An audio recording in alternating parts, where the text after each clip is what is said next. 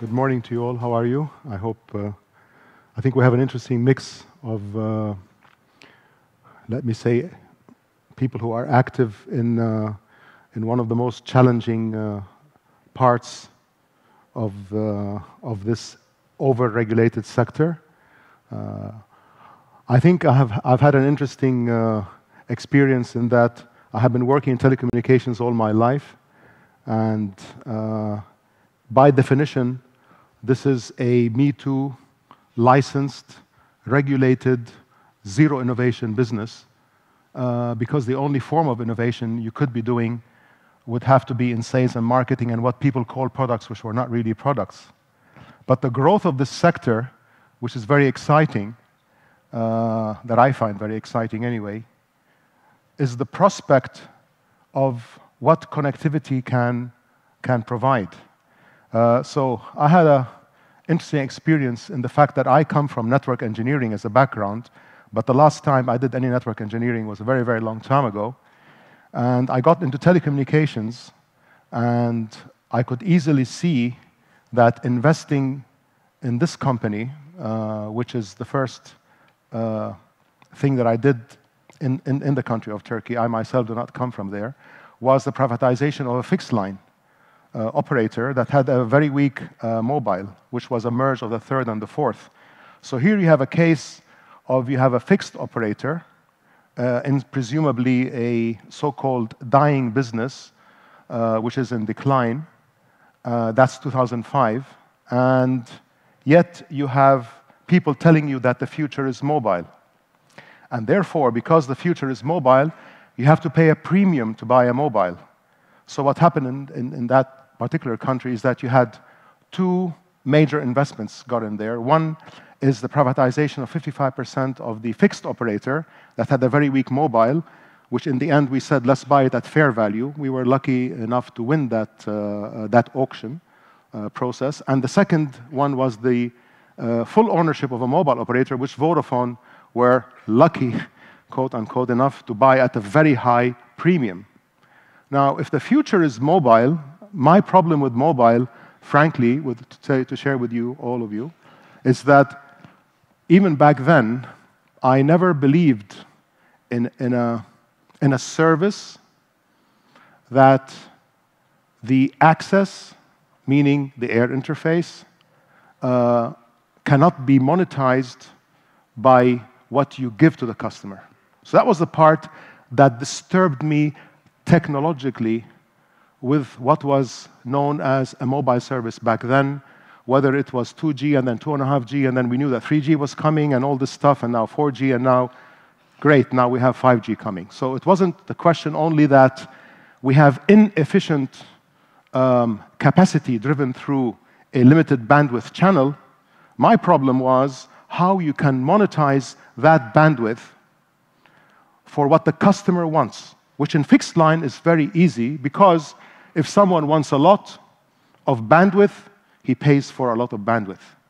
If someone wants a lot of capacity, he pays for a lot of capacity. But if all you can monetize is capacity, data I'm talking, and if you cannot monetize the bandwidth, now that's, that's a very dangerous business model because we all know what sales and marketing people do. They just keep lowering the price because that's the only tool they have and they will make very fancy ads, and I will say, I have a better network than the other one. Just make that mistake and say you have a better network than the other one and deliver on that, which will be costly. And the problem is that the high ARPU customer is happy to pay you more if you can give him the bandwidth that he needs. He doesn't want to have a poor service. He doesn't need the excess capacity that you're offering him but he wants the bandwidth. So I figured, you know, a long time ago, uh, frankly, more than 10 years ago, that the future is going to be on monetizing bandwidth. And that was the reason why I was skeptical about a premium on mobile, meaning buy a mobile at a high premium. On the other hand, I also believed that the provision, cost effective provision of any meaningful amount of bandwidth, because people's bandwidth requirements will increase, can only be provided by uh, a cable, a cable access. And therefore, if you have ducts and you have cables, you are able to access to the customer where they need it. So for me, the future is not mobile. The future is sort of fixed. By that, I don't mean fixed that you can't move, meaning it's in the home or it's in a business. What I mean by so-called fixed is that you as a customer generally need a lot in certain locations. In those locations, the only cost-effective provision that can be provided to you is by a form, and by the way, some of this stuff can be also wirelessly provided. So I'm not talking about the technology of the provision of a fixed service. You can very well provide it purely with, uh, with a wireless means at the access point, which is the edge point or the point of access, uh, or access to the access point, you know, which is what people are doing even with Wi-Fi. So I'm not talking about those things. But what I'm trying to say is that my major difficulty conceptually is that if you're investing money in a sector, you have to be able to monetize bandwidth. Okay? That was my problem with mobile. Okay? The second is that there is no future without mobile, meaning you have to have mobile customers. But then at a certain point, everybody will have a mobile phone, so you've achieved your penetration. And then now they're telling us that IoT is going to be the savior of this sector. Yeah, but I mean, but who's going to provide that? So I had this privilege of exiting the telecom sector 2011 and be away from all of this stuff and invest more in venture capital type things that, that I felt were building a future uh, away from conventional telcos. And I was very happy uh, to be doing that. But unfortunately, I was called back into the same company because of uh, the acquisition uh, loan default. Uh, uh, and what the company needed was a transition CEO. And we're a public company, so what I'm saying is, is basically public. is that, I mean, we're listed on the Istanbul Stock Exchange, is that to take the company now from where it is onto its next future. And initially, when I came back to the company, obviously I, I, hadn't changed the way I was thinking. But I made four acquisitions in 2006, 7, and 8 uh, for this company, which were basically IT technology companies. We managed to convince uh, one in particular called Argela that established now a Netsia company in the US, uh, that we needed to invest in the next future of monetizing uh, what we give to the customer uh, in a form that we should control, because there was no vendor doing that for us. So that was the, the role of this particular company. Uh, then we also invested in a system integration company and then we invested also in an education content and platform company. So we're around 2,000 people working in these companies. But these were not inside the telco, they were in their own. The founders were convinced to remain in the company. And obviously, the only way we could keep them there without having any shares is that you would monetize your contribution in share uh, rather than, uh, I mean, an exit value share, is that you get a salary and a bonus and realize your dream as opposed to build a company and sell it, because telcos cannot do that. And then we are all have to be employees with our own kind of like options within this company, which is our own company. What's interesting to me is that these guys were working on that and they were asking me when they meet me, what's the EBITDA of the company next quarter? The big telco. They started thinking because that's where their value is. And we built some things. The, the fourth company, unfortunately, uh, was a game company. They didn't look after it. When I left the company, I invested in that. And that's now 100 times the value that they lost, that particular game company. So these were things that I believed in. When I returned to the company, one thing exciting I found, uh, I, had, I had spoken to the Netsia guys or the Argela guys in 2012. I left in 2011, and I went to visit the guys. And as we were talking about what they're doing, they told me they're working on SDN. And I said, Are you crazy? This was 2012. um, you're going to need five, seven years to get any return on that investment? Will they support you? It's not that I don't believe in it, but so definitely there's a direction there, but will the company continue? Because telcos do not invest in these things. Telcos, by definition, are cash cow companies. Most of them get nothing by innovation. So all they do, they innovate in the areas that have the least value. And obviously, luckily for them, they were able to get an important contract relating to a local base station requirement and all that, so they were able to fund it. So when I came back, I went to see what they did, and I couldn't believe it.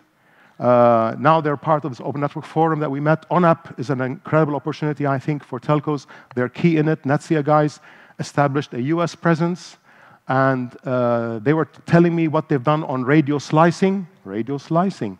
That's exactly what I was talking about earlier on when I was mentioning to you how you can monetize bandwidth. I mean, yes. I mean, if you, that's the way if someone says, I want my 100 megabit per second, come what may, and I'll pay you a premium for that, customer, I don't care. I'm going to pay you for capacity. Of course, I'll pay you for capacity. But if you pay me for a bandwidth, my friend, I'll give you any capacity you want. It's like fixed. If you pay me for high bandwidth, do I calculate how many gigabytes you use? It's unlimited with some level of fair usage, obviously, right? Because it is the bandwidth that has the value, not the capacity. The same thing happened with voice minutes. You're going to charge minutes and package, and all of a sudden, we all knew that voice has no future. So they, they mentioned that. They mentioned the ONAP program. They had done uh, proof of concept installations with Verizon, with Telefonica later, with Orange. So I was very impressed with what these guys have done, which also proves that I made the right investment on behalf of the company back in 2006 7 with these people. So that was a right move. I'm not saying every move we did was right, but this particular one was right. And obviously, we are going to make mistakes along the way. But I have to tell you that when in 2012 I told them, Are you crazy? I was even skeptical about seven years. But I thought maybe five. And that's just six years ago. So we are now right there. And telcos, I'm also finding, are starting to wake up. So I'm very proud of what telcos are now doing as well and realizing that we are in a limited vendor world right now, because obviously the vendors ended up eating each other as well. So there's an interesting future coming. And one of the things that telcos do complain about are regulators, for example. I'd like to say just spend maybe just half a minute on that subject. Um, regulators are doing the job that was given to them. The mistake is in what is given to them to execute. It's not them in, in, in particular. But I think that societies speak about now a digital future or digital transformation future, and who is going to provide that cost effectively uh, uh, to, the, to, to the people? So basically, the public interest part. That is the part that the competition model that we all have to understand where it came from was get the highest license price you can, but ensure that there's competition. So you have multi vendor, multi-license, multi-network, and then ensure there's competition so that the people of the country can enjoy a service at a competitive price. Okay? Simple enough. The problem with that model going from where we are now to go to where we need to go next is that these particular telcos cannot sustain the same old model cost effectively to go from where we are now, let's call it the LTE world, uh, to the so-called 5G world, okay? Because then duplication of infrastructure becomes very, very costly and dangerous. Also, the competition model is a little bit complicated. So the regulators will have a very difficult job to do. Uh, the other thing that telcos complain about are OTTs. You know, I don't share that view because if it were not for what so-called OTTs have done to create demand for traffic, uh, and I'm not talking about bandwidth now, this is more consum consumption type traffic, which is perfect for a telco, uh, is all of these OTTs. Now, to complain about OTTs, who are the ones that took a risk, made investments, provided a free service, didn't charge for it, found a way of monetizing it, fine. Ethical or unethical, that's not a telco problem. I'm not praising the OTTs, okay? Uh, but I know on what grounds I can complain about them, but not as a telco. Not as a telco. You can complain about them because of their wrong behavior and not respecting customer privacy and so on. That's another subject. That's a legal issue, okay? And for that, they deserve to be blamed. But for a telco to claim that someone is providing a free service that customers are happy to use and you are having to monetize it, then think what it is that you are monetizing. You are monetizing capacity. These OTTs don't generate that much capacity, my friends, and they don't need that much bandwidth. But your customers of the future are going to need that quality of access, which means they're going to need the bandwidth. Okay? They are going to need the latency limits. And that is where, if people have a skill, they should be able to provide that service uh, over a limited bandwidth device, let's say up to 100 meg. I'm not talking about the 1 giga and very complicated things, but even I'm talking about mobile devices that are still 4G. And if you do radio slicing with small cell, you can do a lot that you can monetize from the customer in what I said so called fix. You give your customer something that he really wants, and then don't tell him what he's allowed or not allowed to do with that bandwidth. If an OTT now smartly comes and comes up with an amazing future health solution that is bandwidth hungry, don't then complain that you are now having to bear the cost of that because now your customer will be paying for it. Otherwise, be creative and build that future instead of just complaining about this hidden enemy and then they create all this, uh, uh, in my opinion, nonsense about things like net neutrality, that they believe that net neutrality is something which is against the interests of, te of telecom companies. That I believe that the role of telecom companies should not be the ones that complain. They should be the ones that find a solution for their problem. Uh, and the people who are using their bandwidth, just you need to know who's going to pay for it. If the customer is paying for that bandwidth, if that's the model, so be it. If an OTT wants to buy bandwidth from you, I think that also can be a model, by the way, because OTTs try to invest in, uh, in access and they realize that there's no future in that. So this new technology excites me a lot, in fact, that I can tell you in 2012, when I visited the office uh, of the Netsia guys who were creating all of these things, and they were the R&D arm of the company, so they were always doing things that can be monetized, let's say, three years ahead, let's say. But you know, SDN scared me because I said it's going to take a long time. It's just like, can you survive that length of time? Will the company keep feeding the money you need to develop it? And luckily for us, first of all, they managed to sustain themselves. And secondly, the market also realization happened and they proved themselves to third-party operators. And I'm very open now to the idea of partnering uh, because telcos cannot do th these things uh, themselves.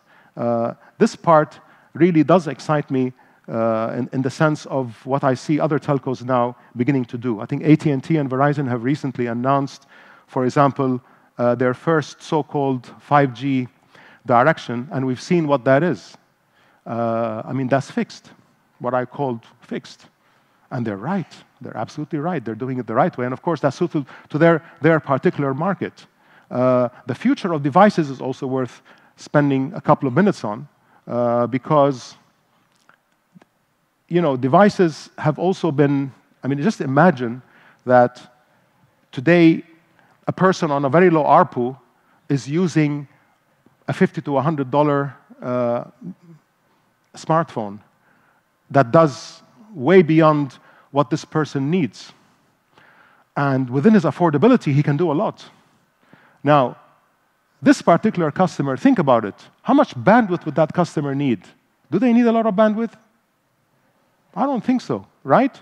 But he needs capacity. That's amazing.